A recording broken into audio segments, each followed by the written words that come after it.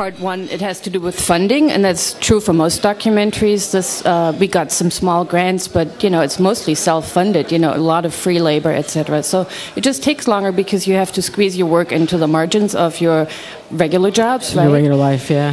And then the other reason was really when we say six years, the first year or two was really getting to know people and kind of developing these uh, relationships of trust that they would even be willing to be filmed. So And- it took a long time to develop that. Can you describe how it is you did get to know these uh, folks who became the focal point, the four survivors that you uh, zeroed in on in your film? How did that happen? I think we met each one of these people in, in different ways. The um, we first approached the Kovler Center, and they were wonderful. They, you know, they vetted us. They uh, invited people to meet with us as a big group, and we pitched the idea. And most of the people in the room said, "Great idea, but I could never participate in something like this." And then from there, it took maybe a year or so that one or two people in that group said, "I will. I'm comfortable being part of this." And I think part of it is also that we didn't just want to make an interview based film. So it wouldn't be just a one time meeting, we do an interview and it's over, but we really want to immerse ourselves a little bit more fully into their lives. So we would create a holistic portrait of the people in the film. So they're not just labeled victims, but they're people with a full range of activities and, and you know, uh, be it leisure time, work, relationships, and so on, because we felt if we had a had the viewer encounter a more personal uh, relationship with the people who are portrayed in the film, it would create a, a deeper experience, and also people could identify better with who they're seeing on screen. In fact, I mean, even once we selected and uh, we had the survivors agree to participate in the film, even then it was a very slow going process in terms of building trust during the course of our filming with them. so in the beginning, Ines and I were even a little bit afraid to ask certain questions because it's a very it's a painful topic, and we knew that by them retelling their stories, this could also re-trigger certain symptoms in them. These are not easy stories to convey. So in the beginning, we were a little bit timid. As time went on, we and we got to know them, and they got to know us better. Our our questions became more pointed, and we went deeper, and they trusted us enough to also be able to go deeper into their stories. But so basically, you were involved with these the, these particular subjects for several years. That's right. And, and to go back to your earlier question, some of the other people we found through other treatment centers. There's a very good one in Los Angeles and one in Minneapolis. So they made introductions for us. And then the story of uh, Don Vance was actually in the news, and we had read about it and we reached out to Don. Now that that yes, I had heard of Don Vance, and if you want to talk about his issue in case the, our listeners don't recall what his what happened, Don. Don Vance was a as a U.S. Navy veteran, and he became a uh, military contractor when he went to Iraq, 2004, 2005. And while he was there, he discovered or became aware of certain shady dealings going on in terms of trading arms and that type of thing. And he became a whistleblower essentially, and he informed the FBI stateside as to what he was witnessing. And some of what he was witnessing involved government officials as well in Iraq, American government Someone in the officials. State Department, I believe your film says. Yeah. So he Very informed the. FBI, and uh, before he knew it, he was. I mean, there were other circumstances that came up. I won't go into the details now, but before he knew it, he and his colleague were taken into custody by the U.S. military and uh, blindfolded and taken to Camp Cropper in Iraq, where they were detained without due process, without access to a lawyer for four months, and experienced various forms of torture like sensory deprivation, um, deprivation of food, deprivation of medical care. Um, not a pretty, not a pretty picture.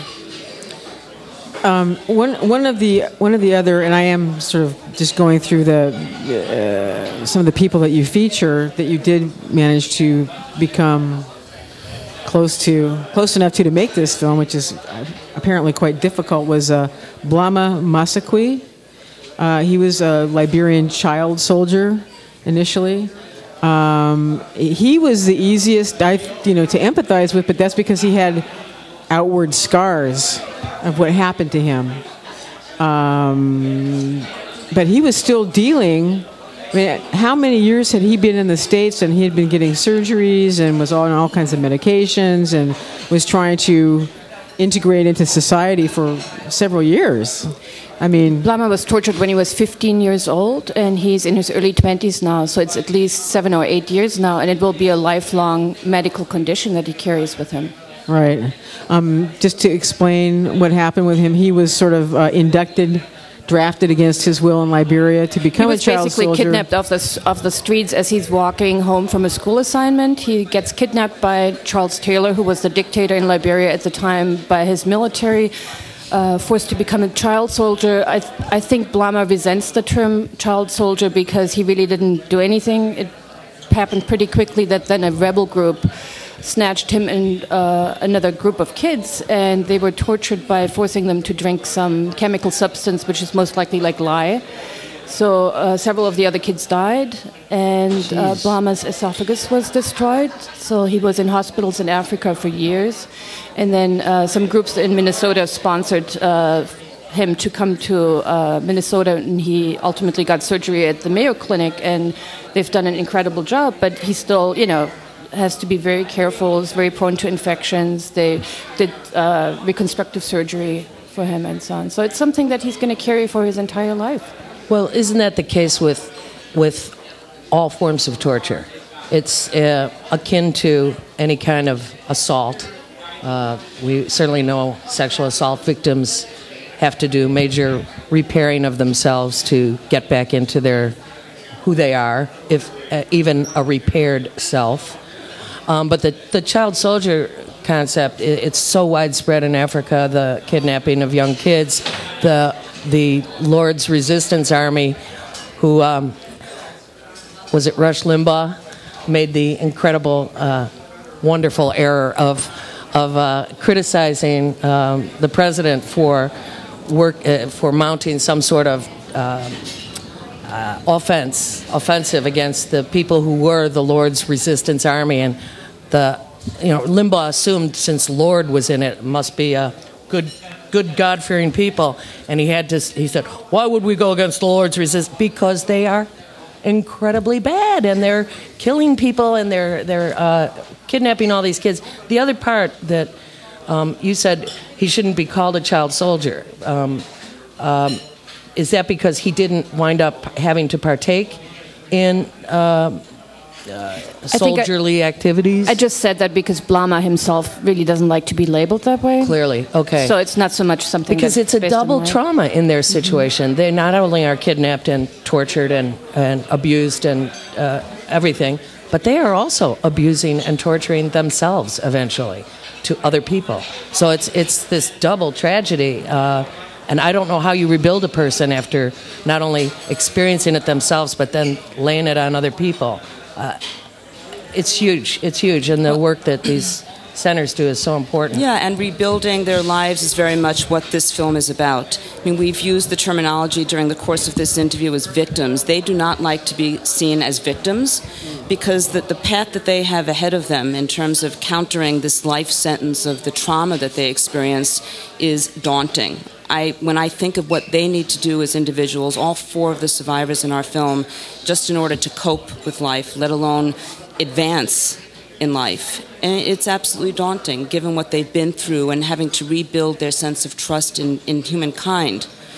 Well, it also, what to me was really interesting about your film was the fact that it addresses the fact about of, of identity, that basically the torture sort of destroys their identity. They have to create almost a new identity because that person doesn't exist anymore after that event or those events. It's Yeah. multiple. The, uh, Dr. Mary Fabri in our film, who is the director of the Marjorie Kovler Center, uh, has said that one of the most painful things for her to hear to hear when she's in therapy with the survivors is for them for them to say they wish they, they, they could be the person that they were. And she knows that that will never be. And that's something happen. that has to be accepted.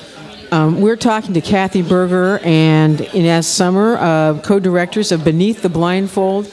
It's a human rights documentary about uh, torture victims and uh, and I guess they are sort of activists in a way because just by virtue of being in this film. I think it several of them have already been involved in uh, speaking out against torture, but I think the film will give them an even greater platform. And the film is about torture survivors, but it's also about healing and it's about uh, regaining agency and reclaiming your voice.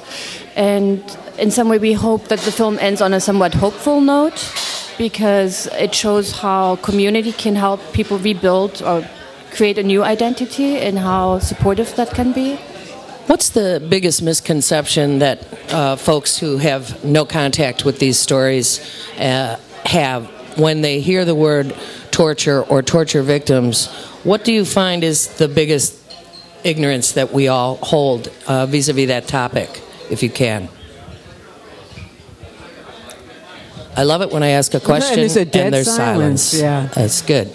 I think I hesitated because I think there's misinformation on a number of levels. I think there's misinformation in the way that um, people understand what torture is, that torture can be effective, that and it, it can't. I don't believe it, it, It's actually useful. That was that, also that, addressed in your film.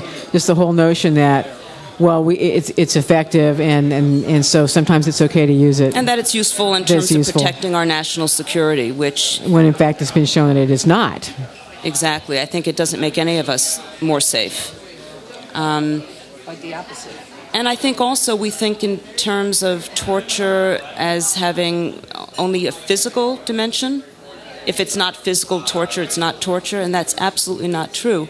There are many different levels of torture. I mentioned earlier sensory deprivation is a form of torture. Well, you showed some very interesting fo- film footage from, from the 50s where all they did was wrap somebody up and you know so they couldn't feel themselves and had you know uh, basically just they weren't physically harmed but they were sort of cocooned in such a way that they couldn't hear see whatever. And within 24 to 48 hours they were having complete identity breakdowns. I mean that's all it took.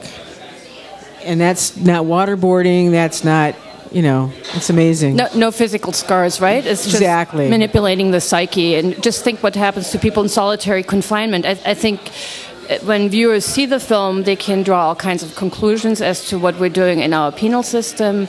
Um, you know what was done in Chicago under Burge. You know that could have easily been part of this film as well. And I should note our film premieres on January 13th, and just the day before, uh, Alderman Joe Moore, who is Roger Park, Rogers Park's uh, alderman, will uh, present a present to the city council a resolution to make Chicago a torture-free city, and that's sponsored by the Illinois Coalition Against Torture. So we feel it's a really the, this upcoming week is a really strong week for people to learn more about what the issue of torture is, how it might have happened in their own communities, to, to learn more, to come to our screening, to go to our website, which is beneaththeblindfold.org. So I hope people take this opportunity. Um, beneath the blindfold, people that are um, listening to the show right now, you have the opportunity to see this film um, this next Friday, January 13th at 8:15 at the Gene Siskel Film Center, which is part of the Art Institute of Chicago. Now. You're going to have a reception before the screening at 6:30, and I assume that means you get to. You know, if, if we show up, we get to talk to the filmmakers. Sure, we'll do that. and that we'll also have on hand uh, people from our film. So a couple of the survivors in our Oh. film will be there as well for a Q&A after the panel discussion. And I should also mention, if you can't make the 13th, there's an encore screening on the 18th. Thank you. 19th. Sorry, 19th.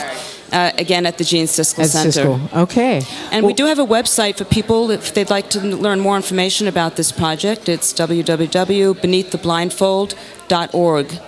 All right. Uh, Kathy and Ines, just fi- one final question. Um, did making this film enter your own psyches? Did you have dreams? Did you find yourself off kilter? Or were you able to uh, maintain some sort of distance? That's the first part. And the second part, uh, what's your next project?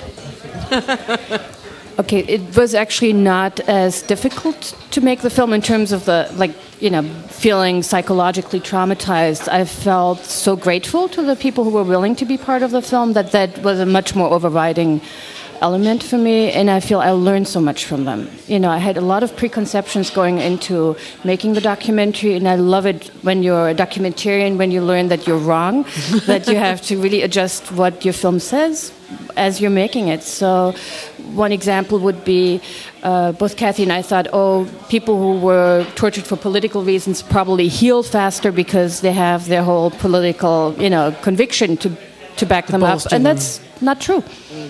So to just learn those kinds of things was really very enlightening.